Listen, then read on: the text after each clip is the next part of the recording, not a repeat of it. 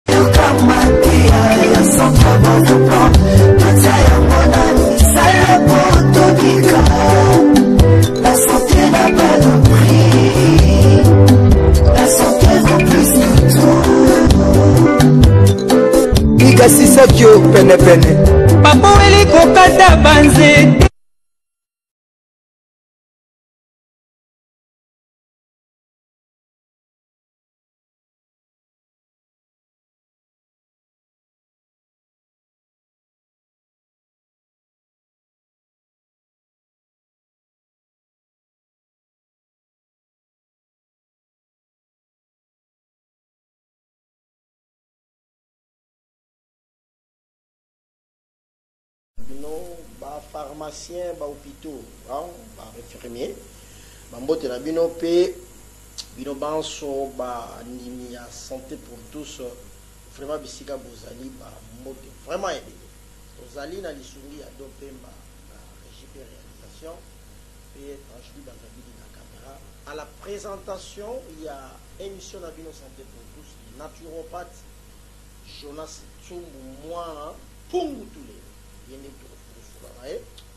mpo ete to developper ba sujets moko boye tozo developper awa awa ezala vraiment mame mame haa bozosua eloko moko boye ce que bosepeli parce que kobima ya naturopathe na television eza mpo annonce makambu pena oyo ya minene mosala ye te bokosala kaka yango ado makambu kaka minene minene minene tii na suka ce que bino nionso boza Tellement ebele boza vraiment kosepela ba oyo balandaki radio lobi bayebi ke lelo toza na special special ya 6 avril ya Simon kimbangu yango tolingi to developper mokili kozala mosika na television te po biloko komona na biloko koyoka banda obanda koyoka masolo ya Simon kimbangu oyoka yango na lobi banda obanda na yo okenda eglise osambela bayebi so makambo ebele oyo yo koyoka lelo Na oyo okomona lelo. Omona yango na mbi. Comme d'habitude Don Pemba lakisa mwa moke misala ya grave misala ozo kosalema na cabinet na Fino Pati tango tokoya bongo nde tokobanda lisolo na biso soki manso mazali malamu otieli biso misala ya grave mwa pub na biso.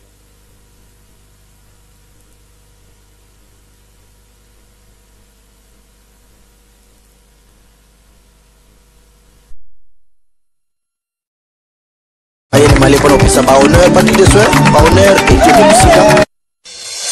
indusa indusa nkaila toleli centre bravo plante médecine traditionnel scientifique congo central bakongolais baseveria centre bravo plante médecine traditionnelle scientifique du congo central na mabele ya boma Eeh boma me ningana toutes les maladies incurables sans maître centre bravo plante traitement et prévention yoke nsakave bana komini ya kalamu nzadi kabondo ya bino solution bongola meso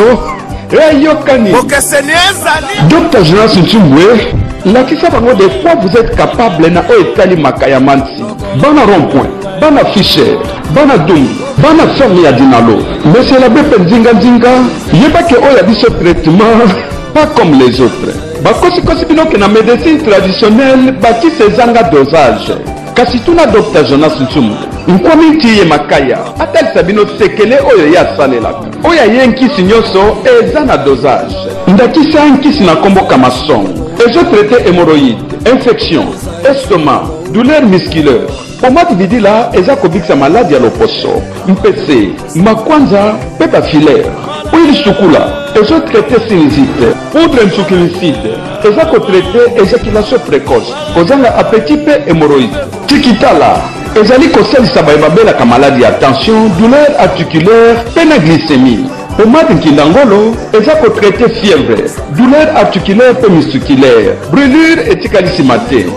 Bongo poudre nsa nini eza ko prevenir mpe ko traiter cancer mpe glycemie. Biokondo eza kosalisa diarrhee, gaton intestinal mpe douleur musculaire. Biokonda eza kosalisa asthme, angine, douleur,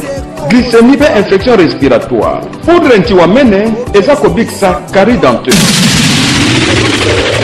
Ndeko mwasi mpe mobali,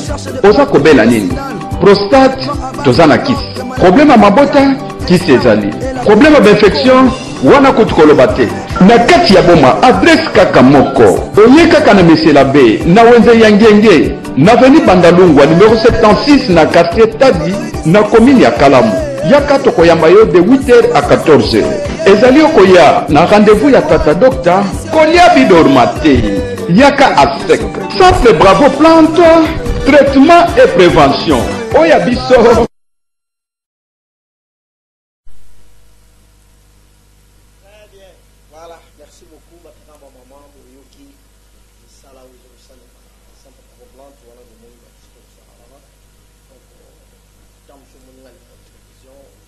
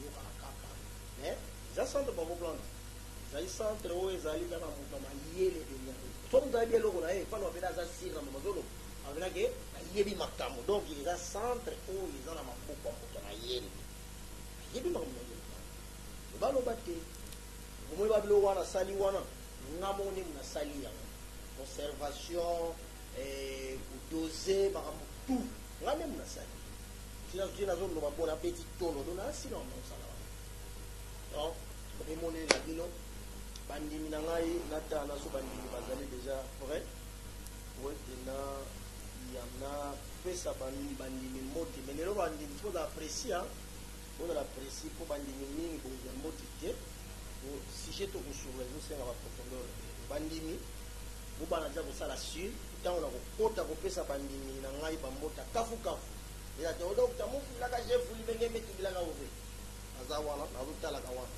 donc voilà ba tata na ba mama towuti kotala misala ya rare na tsoko pati azali na boma mpo na misala na ye ya kotraite bato à base de plante medicina yo ndeko nzoto ezobimisa yo maladi nzoto eza bien te omiki mpe makambo mwa mingi ezosimba te leka na centre bango plante oyo ezwami sirabini banalonga numero 56 na quartier tadi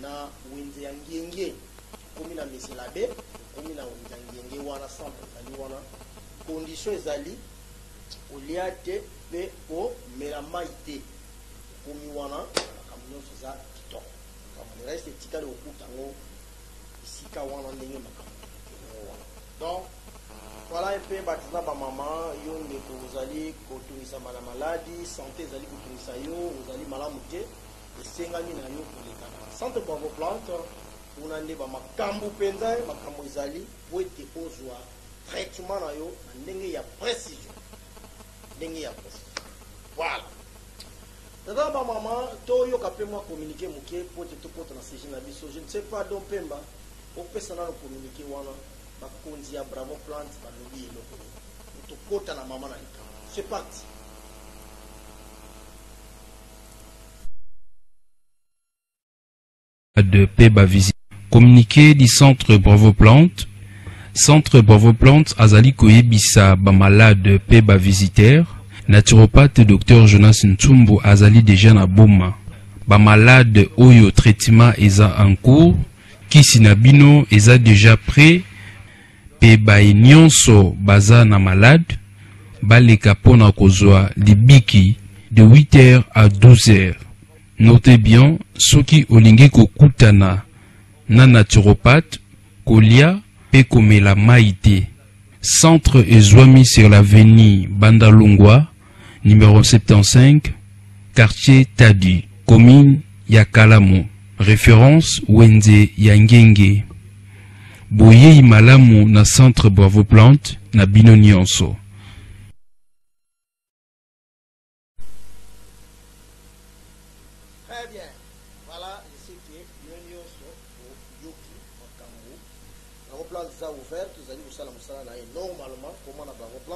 Pwète ozwa traitement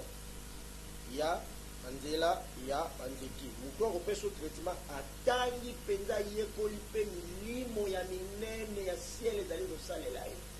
Azali moto ya pamba pamba te, o makelele, moto azotia makelele, makelele, makelele. Allez, bandimi na ngai, bozwa mbote na bino. 263, mbote na yo. Eh, 5000, mbote na yo. 641, mbote na yo. 816 mbote na yo uh,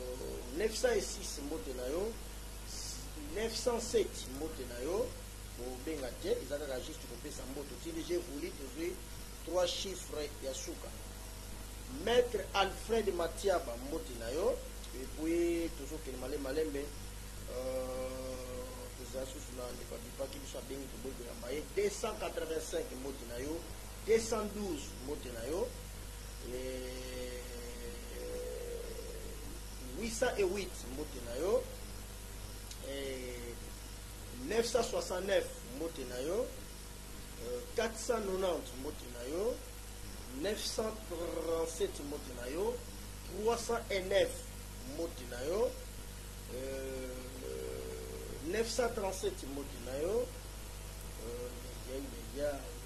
938 tata na yo mbote na yo na bana na mwinda na madame na koko aza wana mbote na yo mikolo na komo monaka pe heure moko boye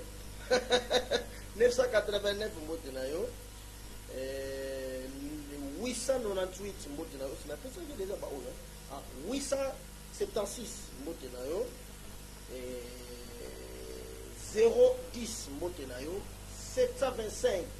mbote na yo ba mero ya suka misatu misatu nazali kozwa mbangu mbangu mpo tolingi tozwa mpena makambo ya minene maître jean claude malonda na wit kuna na mama na baleki nyonso baza kuna mbote na bino 787 mbote na yo kobenga te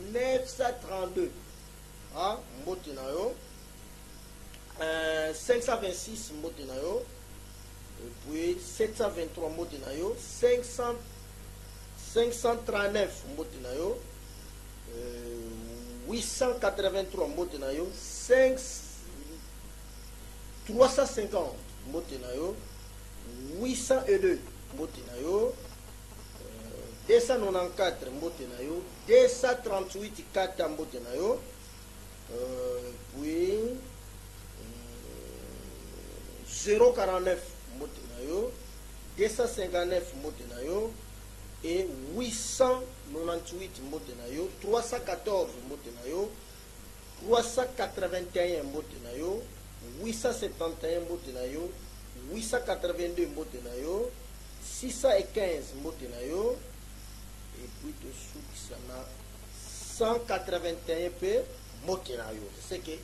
bandimi ya kafu kafu babengi 932 mbote na yo kobenga te kata epuis toyambi mpe 263 mbote na yo bisika ozali na famille mpe libota nyonso eseke bandimi nyonso napesi mbote na bino pamboli ya mpungu tulendo ezala kati na bino na baoyo mpe balingi bati ntina bajevuli kotala lisusu ngonga moko oyo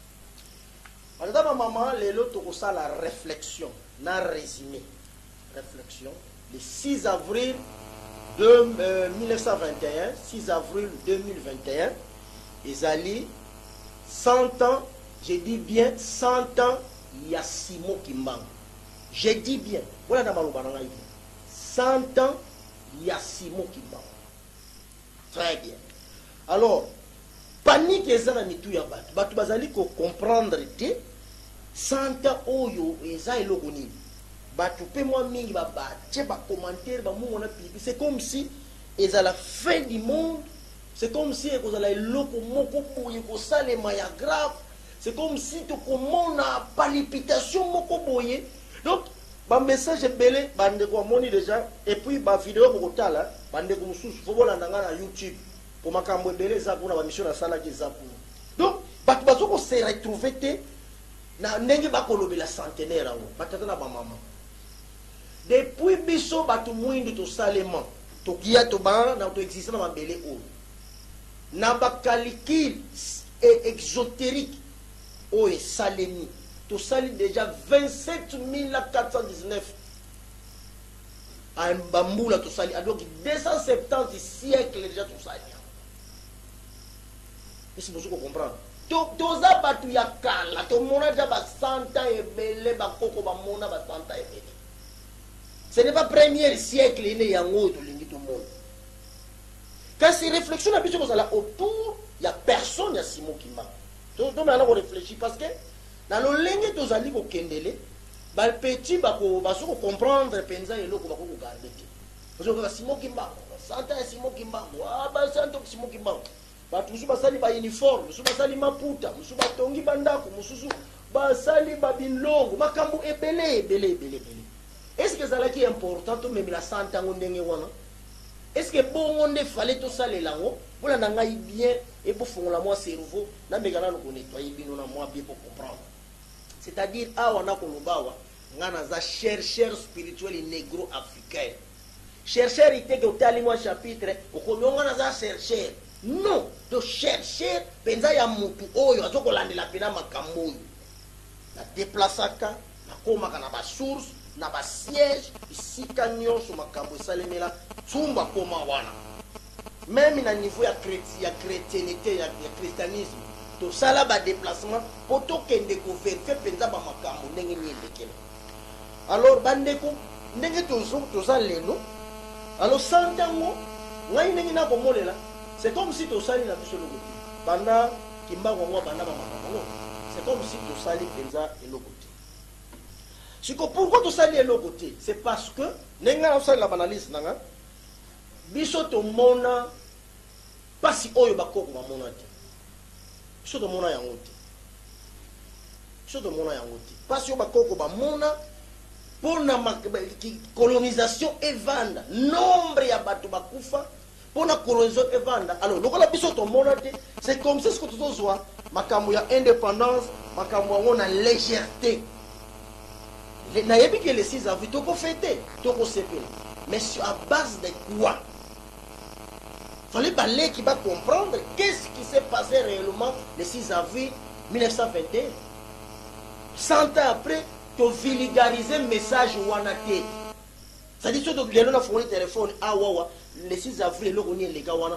ba divergence donc mutu na mutu na ndenge na ya kolobela makambo. Alors effort esalemi ezala na eglise kimbanguiste basali effort te ezala bamfumu le mwana nsemi bamfumu menga bamfumu ngusu bamfumu mpadi bango nyonso basali mpenza effort te donc lelo tosali 100 ans toza na doctrine te tokomi te mutu na mutu na ndenge ya komonela makambo na ye o mfumu buganjela mono ya kala ye mfumu mono ya mona mfumu donc tozoki kokoreptenir eloko te 100 ans après Kasi lokola tomona pasi oyo ba koko ba mona te na colonisation, documentaire moko esalemaki na chaine moko allemand, na zwaki yango pe soki olingi kotala yango kota na YouTube na ngai Mpungu Tulendo TV okomona video mobimba mais na katela bino ndambu documentaire wana bomona degre ya colonisation na pasi oyo tozala na yango sikoyo po toya kokoma sikoyo na Simon Kimbangu. Allez donc pemba pesa biso esclavagisme ba ndeko bazwa ata mwa deux minutes ba tala makambo nini ba koko ba monaki po toya ko koma siko na Simon kimbangu ce parti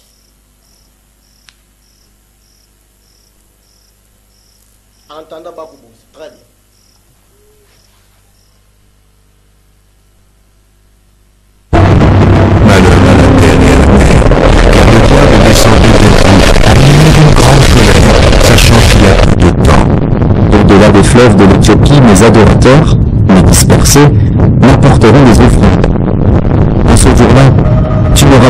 rougir de toutes tes actions par lesquelles tu as péché contre moi. Car alors j'ôterai du milieu de toi ceux qui triomphaient avec arrogance, et tu ne t'enorgueilliras plus sur ma montagne sainte. Je laisserai au milieu de toi un peuple humble et petit, qui trouvera son refuge dans le monde de l'Éternel. Le reste d'Israël ne connaîtra point d'iniquité,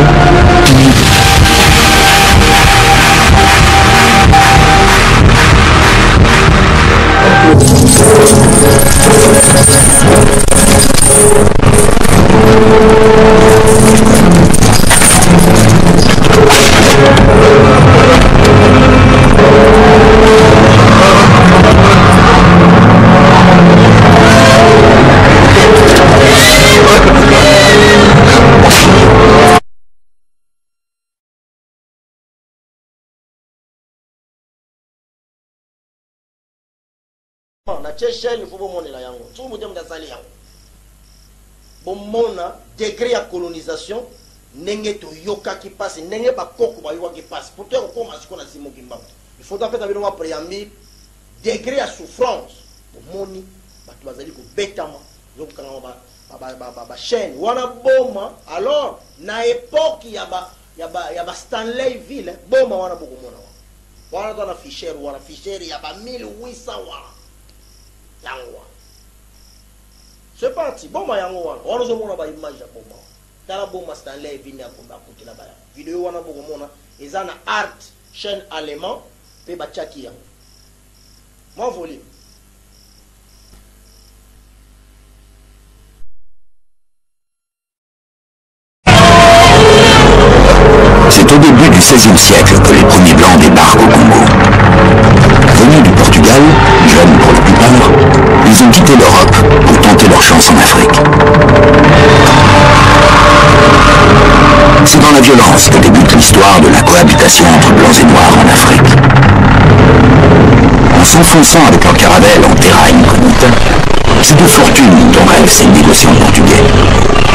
Ils viennent en Afrique chercher des esclaves pour les envoyer en Amérique, récemment découverte par Christophe Colomb. Pendant plus de trois siècles, l'esclavage va progressivement décimer la région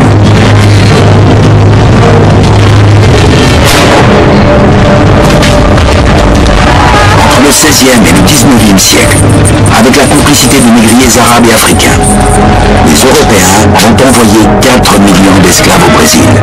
4 millions dans les Caraïbes anglaises, françaises, hollandaises et danoises, 2 millions dans les pays contrôlés par l'Espagne. Avec l'arrivée des premiers Portugais, le Congo s'enfonce dans une première ère de violence qui transformera durablement la région. Il marquera les consciences de traces indélébiles.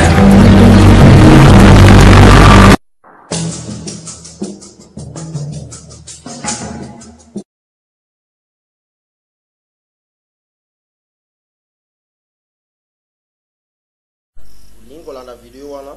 kota na art okomona yango soki omoni yango te kuna kende na, na chaîne na biso youtube obeti mpungu tolendo tv klike video eza integralité eza 60 minutes okomona de place ko comprendre gravite ya colonisation lolenge nini tozalelaki na fimwa extrait na kateli bino bomoni bafimbu bazoboma bazokanga bashene ti bantaba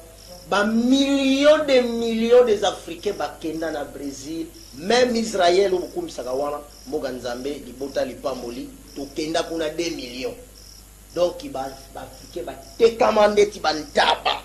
Ba africains ba tekama ndeti ba mba ba, ba ngulu na zamba ba kangi ye chaîne. Alors on fait semblant ndeti makamba colonisation et ko loba melaka te parce que soki pe to limbisa soki nini pe leka wana. Hieu. Maintenant ba biloko oyo bo uti ko mona wana. Loko wana ezwaki tango molayi Je ne vais même pas entrer dans la chrétienté, dans l'islam, dans consort. Naboyi kokota kuna. Ezwaki ntango molai biloko bomoni komema mondele na kipoi, kobetama, ko- ko- donc to- to- de- to- torture ya lolenge nyonso oyo eza ekoko- donc eza kutu na explication te. Mpasi bakoko bayokaki. Biso lokola toyoka pasi wana te, tozozwa independance na légèreté. Santa tozingi to fete yango na légèreté. Yango nalingi na rappeler bino tosala banalise ensemble na bino. Très bien. Alors, banda na baperiode wana makambo ebandaki baconseil baconférence de berlin batusa eye oyebi histoire bie koleka ngai ngai nalingi nakendika place oyo po tokende kodecortike kimbangu Tokomi maintenant na moment oyo ezali ke mutu mundu il est neutralise totalement sur tout le plan spirituel, scientifique, politique, voir meme mundele akomi na niveau ya kokoma chef de secteur.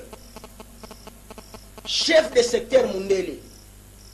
donc tika leka bazwa meme ki chef de groupement et chaque groupement ezalaki mpe na bamindele mundele akomaki na niveau ya armée ya bato mwindu me bagrade nyonso important mindele gouverneur mundele abimisaki territoire mundele faut kocomprendre degré ya colonisation ezalaki degré nini na secteur mundele oyo mo bagene bazo comprendre na bango nde towuti wapi tozokende wapi ozomona neti kaka neti kaka tolali tolamuki eza kado moko boye donc eza gratuitement tozala ndenge wana mais ya des gens qui ont combattu ya des gens qui se bati mpo lelo tokoma ndenge tozala ndenge wana esi boko comprendre ngai ndenge nakomemela makambo yango alors Tangu tokomi na 1921 histoire nakoloba te parce que naza kaka lelo po to expliquer kaka makambo ya sima po histoire eza molayi. Oyo alingi lobi tozonga awa chaine asengi biso 30 dollars soki botindi 30 dollars bokomona na jugement Simon kimbangu boye na television bozo kotala yango po naza nango. naza nango ndenge lekela mundele aza wana bakosambisa ye naza na jugement naza na biloko ebele ya simongi mbao nazo na belgique wana me lelo toye decortike simongi mbao na 1921 au-delà de tout na baetape oyo alekelaki simon kimbangu abimi alobi abandi kolobela makambo ke mindele fo bakende Oyo eloko eza ke ba koko na ba koko na biso ba lekaki wana mutu atikala ko kutu ko lakisa ata voix na ye te. Na moment kimbangu ako loba biloko wana, wana mundele to meme na lipoyi. Wana dejà ba secteur eza na maboko ya mindele. Ba groupement na maboko ya mindele. Territoire, province, tout c'est mundele qui dirige. Donc oyo mutu muindu aza considere neti likaku. Neti eh, ebuele. Faut boyeba kabal ba baleki po mikolo bayebi nzembe bino boyebi te towuti wapi kimbangu asali nini toza wapi e na moma nako tozalaki na moma wana na bapasi wana yesu azalaki na ye baeglize mpe oyo ya minene totangaka lelo bazala na bango wana bapriere mpe eza kosalema wana me colonisation elongwa te colonisation elongwa te na bisa 21 kimbangu atelemi alobi En tout cas on doit mettre fin à ça alors na secret te en face ya ba colonisateurs na ndenge lelo kutu awawa tozalaki na président kabila o oh, alongwa tozoka kotelema te soki lelo kaka kutu ndenge nazomona kobanga oyo toza nango na kasi indépendance mbele ezwama te bakasi yango baleki biso na makasi biso toza eloko te kimbangu alobi mindele fo bokende oyo eza pays na bino te dabord boza bamiyibi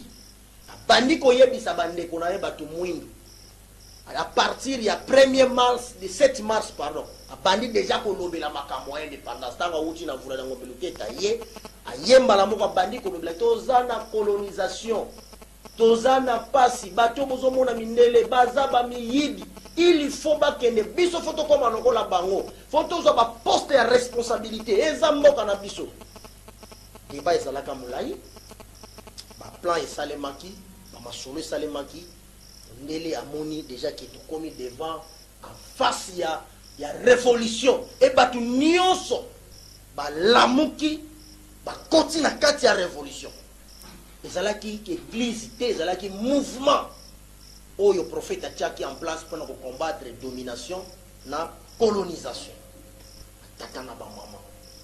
Ba tata na ba mama lobi oyo ako tinda 30 dollars na lakisi bino ba video nionso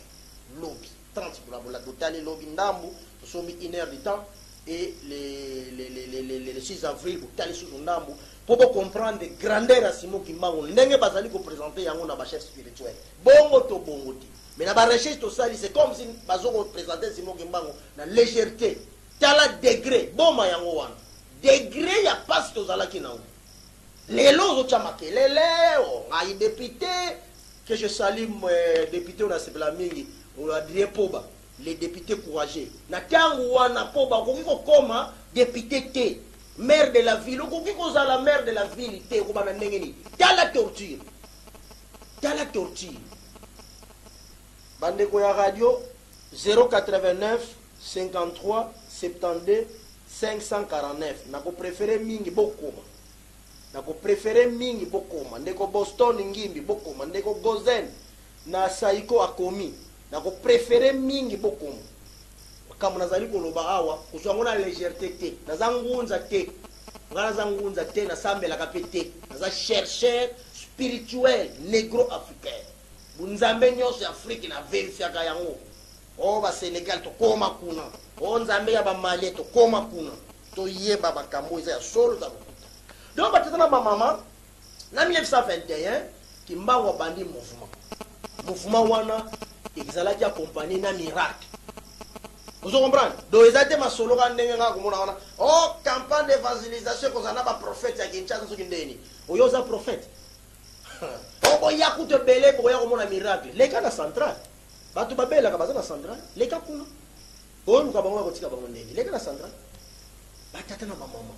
na loboko ya pamba na mayi ya pamba batu bako sekwa batu bako telema batu bako bika en meme temps combat ya colonisation ezo kende sango epanzani aleka na radio te na television te Congo central partout on parlait de Simon Kimbangu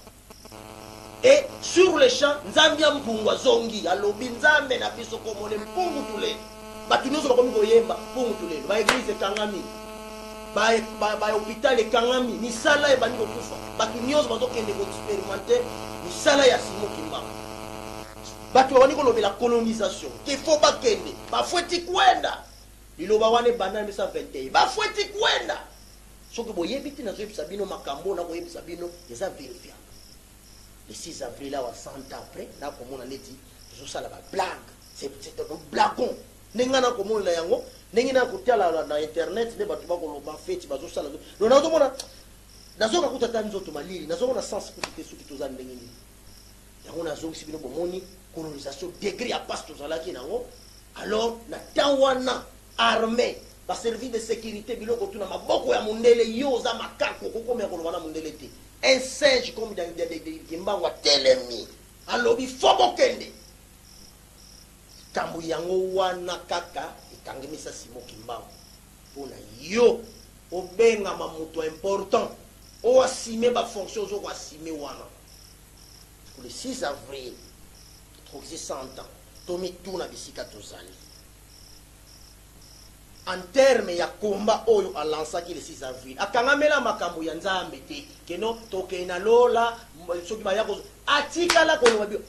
il combattait la colonisation asali programme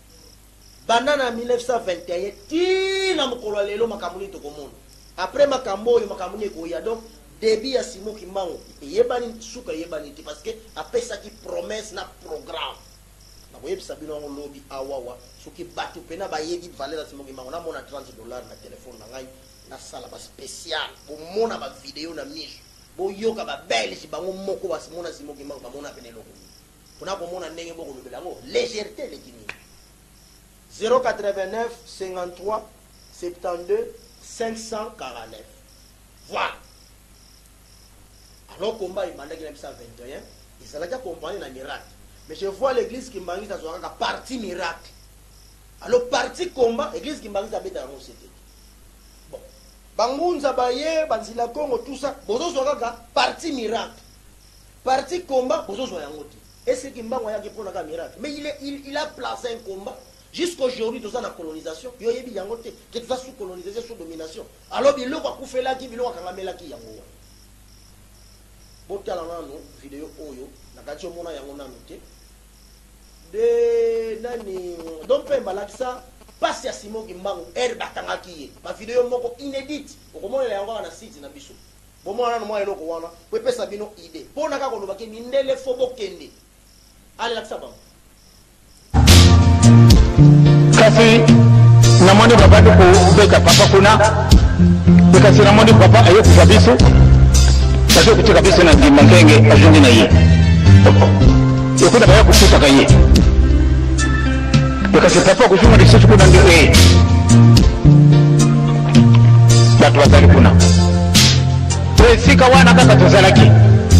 ndenge tovandi loo nga komomoni ngai kaka awa ale tata ayokamata ngai bavon kwambaza na mama papa koloto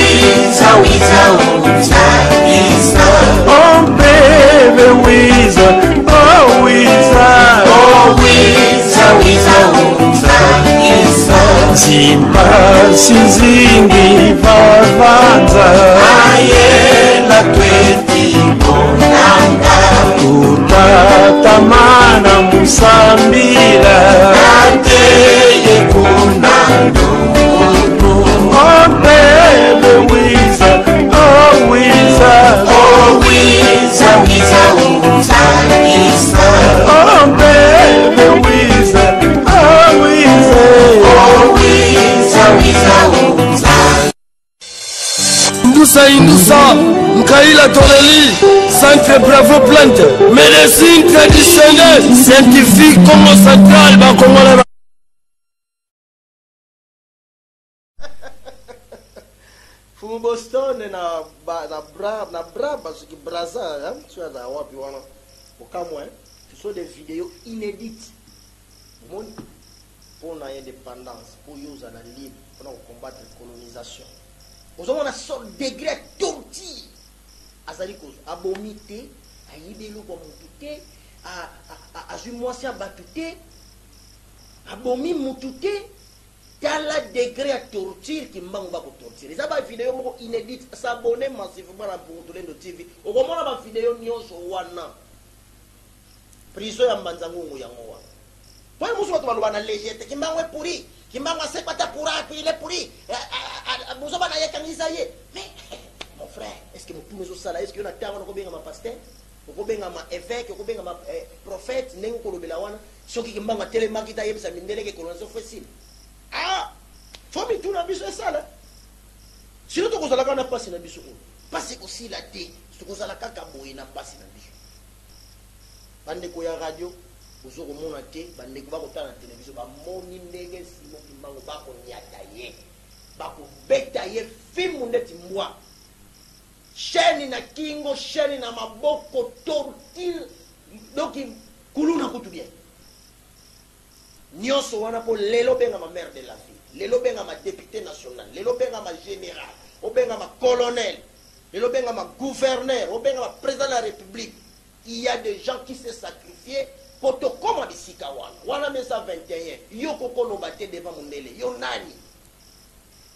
Donc kata na kata ba video wana eza inédite. Hein? biso aza bacherchere te ya loyenge kaka osa barecherche moko kaka loyenge tokɔtaka na profondeur profondeur mpo tokɔta mpenza toyeba bamakambo ekokendele ndenge nini très bien Voilà ba tama maman.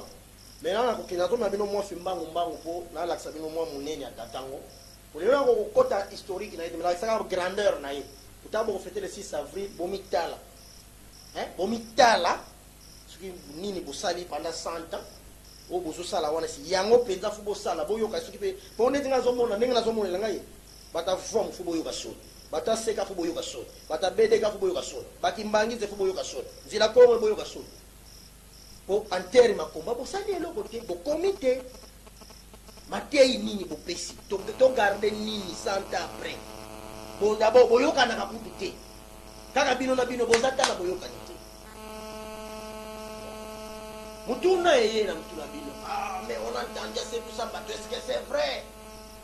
Est ce que ce n'etait pas des mascarades? Na liste tozua na Belgique, 147 personnes basekua na maboko ya Simon Kimbangu. Ba oyo bamonana, ba misusu basekua bamona ye te. Baye bakomi na Nkamba, bakuti oyo prophète akenda dejà na Mbanda Nsanda, partir sur le champ wana mpe moto asekua. Mais oyo baza enregistres, soki oke meme na ba missioni ya CBFC na Londres, okokuta liste eza kuna oyo ba Jennings batika eza kuna. Nga tangu na ye na moni dejà 14 personnes ahm na misu na nga boye mais na zuaki occasion ya ko kende ko koma bisika ya mutu ya liboso oyo Simon kimbangu a sekwisa mama Dina ba kimbanguiste ba yima na loba wana na koma ti na mboka wana ba bengi kongo denda c'est loin très loin chance que bravo plan aza na ba moto to koma kuna na moto jeep eko kota te ko koma kuna te Tokenda na moto kuna, ngai, tokenda na directeur du cabinet na ngai na cameraman. Congo te, tokendaka kuna. Tokomi kuna pona ko verifier qu'est ce qui se passe? Est ce que reellement mama yango awutaka penza na mboka wana? Po Kimbangu asekwisa, est ce que asekwaka penza? Napesa bino mua fiambiance wana, elekelaki ndenge nini? Bomona pe lisusu pe oyo, yo moto ya tembe omona susu ke Kimbangu aza masta na yo te, okosa ba blague te. Na yo nasalaka mua special ya Simon Kimbangu.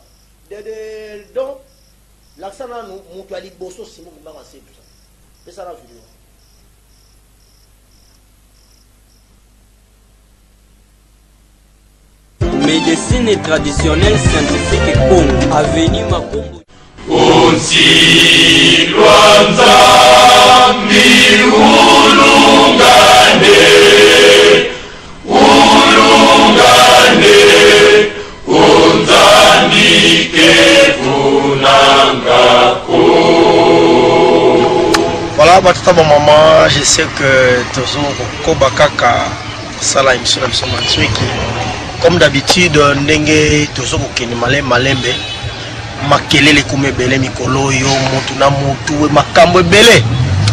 me toto travaille sur question moko boye toto travaille wana question moko toto travaille wana docteur sunasi nsumbu to bino mpe boyokaki o oh, prophète simon kimbangu asekwisaka bato bato yango bazalaka wapi baza na quartier nini mboka nini territoire nini secteur nini province nini ti lelo kaka kokumbisa na kokumbisa mais baélément mpenza oyo tokoki kozala na yango wana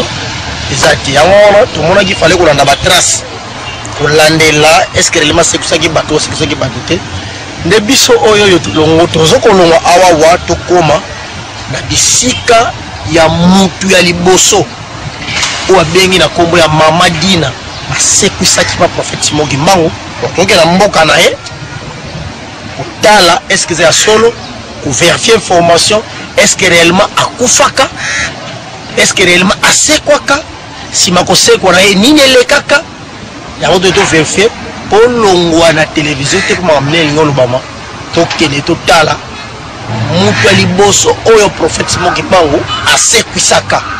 eske relema asekwaka eske mpenza akufaka mituna nyonso wana tokoyokela yango kuna na mboka wana bisika oyo mama wana awutaka nkombo na ye mama dina na mboka ya congo tenta to na tumba tumbavata tozokende kuna kuna nde plus simple information tokozwelaka kuna soki ya solo mpenza awutaka kuna ekoyebana soki mpe akufaka ekoyebana soki mpe asekwaka ekoyebana nyonso etikali koyebela ngo kuna kaka tozokende na mboka wana po toyela makambo nyonso eseke bovanda wana lokuta to solo ezoyebana dans quelques minutes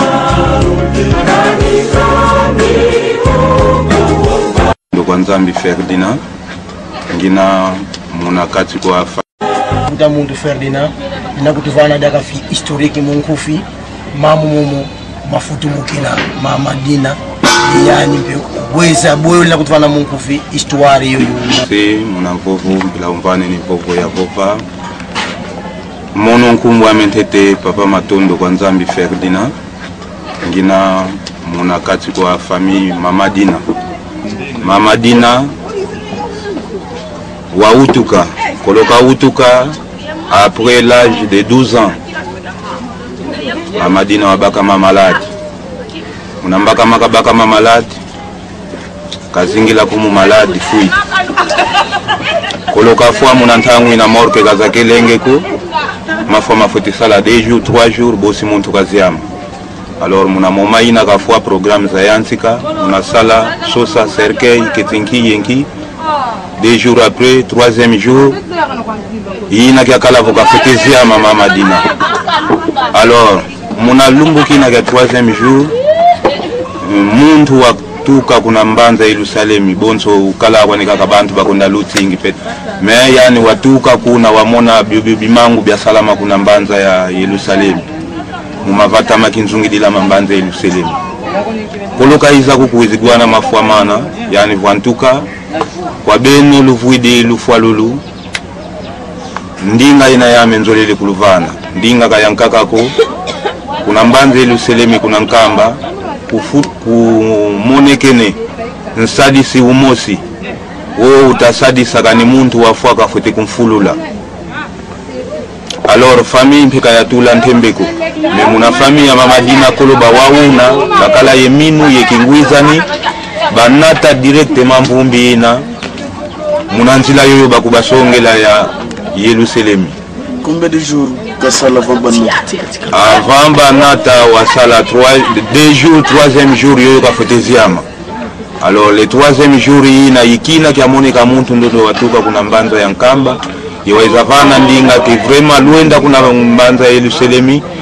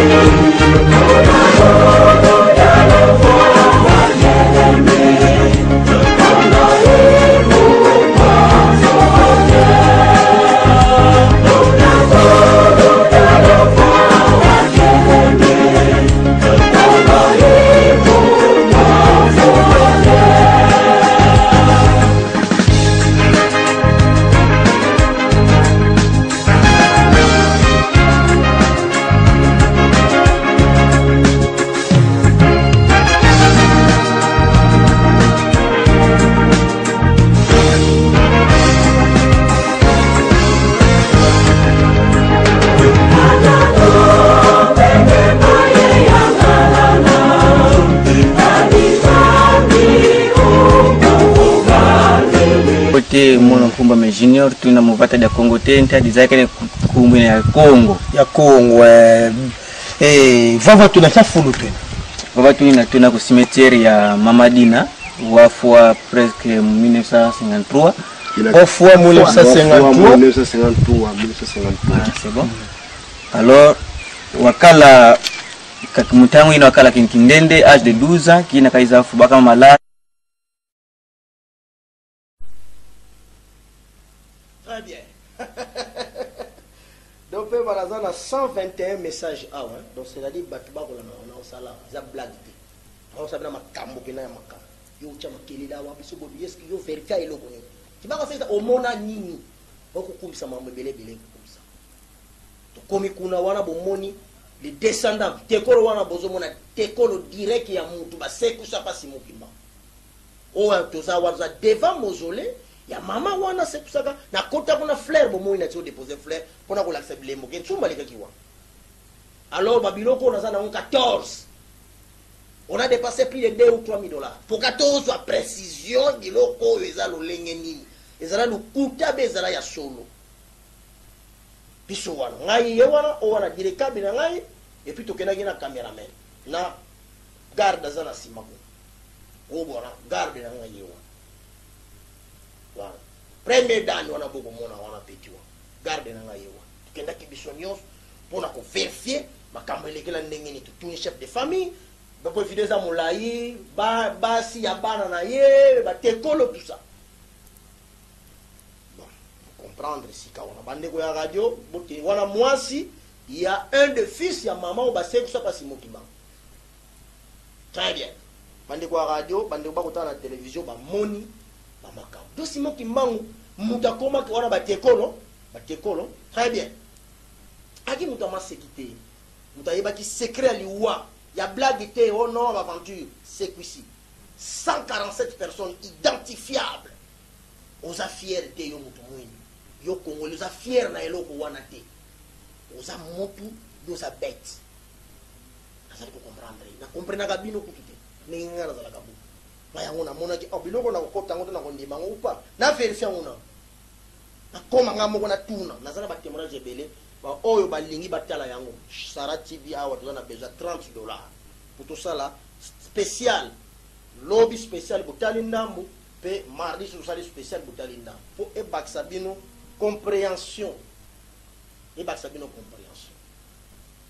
nazwi bino pasi tozalaki nango nalakisi bino pasi kimbangu amonaki mpe nalakisi bino miracle asalaki na cabinet na ngai na ordinateur na ngai naza na 72 témoignage alo eza bato mosusu basekwa baza vivant kino mokolo ya lelo bazali soki bato ya tembe bozali tinda 20 dollar 30 dollar awa omona bavideo nyonso très bien voilà batala ba maman je sais que eza spécial maintenant en conclusion première partie en conclusion yo congolais isika ozali tolongola aspect église kimbangisi tolongola na eloko wana tolongola aspect nzela congo longola eloko wana tozongi sikoyo biso nyonso bacongolais parce que kimbangu ayaki mpo na kosauve biso na bachrétien bosovamaki pa kimbangisi pa kimbangu na ba musulman bo sauvamaki pa kimbangu parce que na tangu wana colonisation ezalaki ba chretiens bozala wana botelema te ba musulman bazala batelema te armee du salut azala telema te cela veut dire biso nionso tozuaki to sauvamaki epai ya simo kimbangu sauvamaki o oh, ata oboyi yango eza nini ndenge wana maintenant tokomi le 6 avril tokomi le 6 avril eloko nini ya motuya oyo tosali en terme ya combat pona ko combattre domination na colonisation eloko nini tosali lelo oyo na kati ya eglise kimbanguiste mama na conflit eza kuna kozwa idee te lelo na nzila kongo mama na conflit eza kuna kozwa idee te lelo na badekabe ba, ba tusa babiloko wana bantu tusa mama na conflit bango nyonso bakoloba koma simoki Ndelo na koma Simon Kimbangu, Mutangusu akomi, Mfumu Menga akomi, Mfumu Dangenda akomi, Mfumu Mpadi akomi, Mfumu ne Mwanda Nsemi akomi. Mukanda nini eza serieux? Oyo batu bako bako maintenir. Est-ce que bozo koyeba biso tokoti tomoni centenaire oyo? Tokomona lisusu centenaire te, tokomisilela. Ba oyo ba koya ko mona centenaire heure ba ko se poser question ba oyo ba monaka centenaire liboso ba salaka nini? To bandi ko presenter to tongaka ba temples, to tongaka ba ecoles, to tongaka ba dispensaires. En termes ya combat bo sala nini? Oh to sala to pesaka batu bapteme, ça c'est quoi? Là je critique tout le monde meme l'eglise kimbanguiste oza na kati ya critique meme nzila ko mfumu ne mazemana comme na ko yebisa bino Na mona papa Simon kimbangu kiangani, na mona mfumu ne muanda nzembi, na mona tata wona, na mona tata mpadi, na mona mfumu menga, na mona mfumu mfumu nkusu, na mona mfumu matayi muanda, na na mona ba chef spirituel makambo na lobi aba yebi makambo nango bozoba soki boza ba konzi bobenga bango ke nzumba alobi boye boye boye parce que j'ai pose des questions tosali dejà nini tomikanda oyo nionso tokomi Pourquoi to vandi te to sala mokanda moko comme ça bato oyo bakoya 100 ans après que ba kulutu tango bazalaki wana bango ba ba ba ba basa balobaki basalaki boye makelele makelele makelele biso siko ba chercheur ta tokosala ba recherche tozokuta ba réalité mosusu bino bozoloba makambo mosusu siko ba jeune ba don pema bakogarde eloko nini autour ya simokima les églises les binlongo kitavua Maintenant le 6 avril tokoti centenaire na ba conflit est ce que toko pambwama? Lobi nako tiela bino video ya papa Dangenda makambo nini toko mona soki tolongo soki totie bolingo te. Yango ba vieux wana bazalaka mayele balobi boluka liloba ya suka te bolingo mibeko misala soki bokueyisi yango pasi na bino ekosila te. Makambo na lobi ba kimbanguiste bayebi makambo na lobi wana. Sikoyo sikoyo toko fete centenaire papa oye oye sikoyo. En terme ya combat ya revolution pays ezo ko kende na na colonisation bozo ko mona papa diangienda ayebisa ba kimbanguiste soki bo kweyisi bolingo toko kota susu na bowumbu ya 400 ans sikoyo bozo ko mona bowumbu te na misu na bino bozo mona yango te na est chaque jour bako boma batu bozo mona colonisation te bino na misu na bino boko mona te meme awa na bomo ozo mona colonisation te yo ozo mona yango te sikoyo boboyi kaka kotia bolingo po tosuka ndenge nini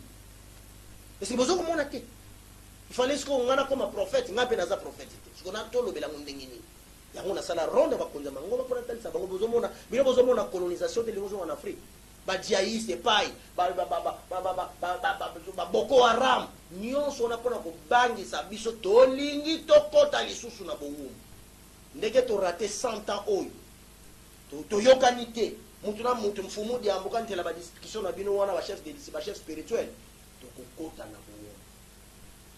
voilà ngai mosala na ngai kolobaloba donc naza ndenge wana ni nakima na ngai nakende po do mpe masani nga si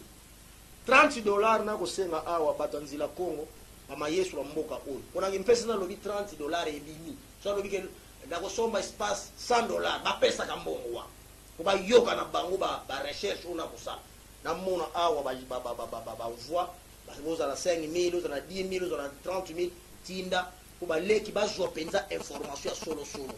bo mona ba biloko bo yokaka kaka na sango bo mona yango te na tiela bino jugement mobimba sima mobimba integralite na longola eloko te et bona lakisa bino ba biloko mosusu bo yoka kaka na sango wa wa wa wa makelele otikala ko mona te omona yango bo moni nde bazo beta kimbangu wana ba video ko mona na ngo ba nsumbo omoni na yango ba suki na ngo wana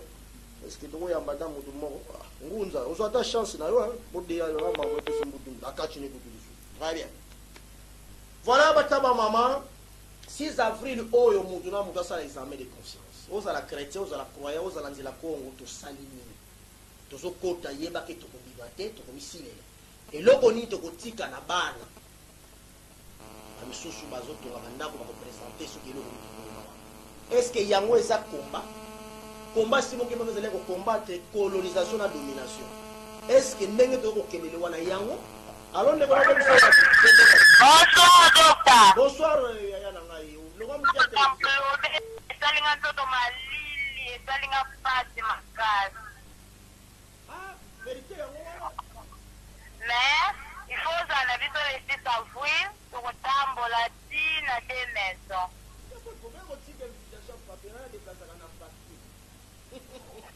Zige toza na mikonzi te ya ba lingomba toza kaka tokendaka kaka po moyen kopesa yo invitation eza te mais nako tiela yo epa ba mikonzi po ozala. Yo pena il faut ozala kaka docta merci beaucoup na nionso ozo sala pona biso. 30 dollars na mona ngo awa pona ki mpese obela matali so alobi bongo mbongo ekoya awa batindeli nga mbongo na futi pa ya vena nga wana pesi ba makambo ya jeunesse toza na pasi soki tomitiki kaka boye ba chef spirituel oyo bokomona baventire bakosa biso Kimbangu aza wana sikoyo tokoka kokota kuna te kaka bango bazo monaka miracle biso tozo mona te tozo koyoka ata eloko te kaka tozo titre ah ngeti mona allo allo allo elo kosizila mbebe omoni ata eloko te est ce que bino bozo ko comprendre te ke tokoti na pasi donc ngai musala na koloba nasuki na nga wana napesa bino lipamboli donc napesa bino lipamboli Tika lipamboli ya Mpungutulendo ezala kati na bino. Tika Mpungutulendo abatela bino. Tika Mpungutulendo afongola bino cerveau, apesa bino mayele. Tika Mpungutulendo azala Nzambe na bino mpe a continuer kobatela biso le 6 avril oyo ezala le benediction ezala malediction te et ye moko Mpungutulendo apesa biso motema ya malamu mpo tozala na bolingo et nakanisi tokomonana lobi. Botikali na maboko ya Nzambe na ngai na nkombo ya Kumba.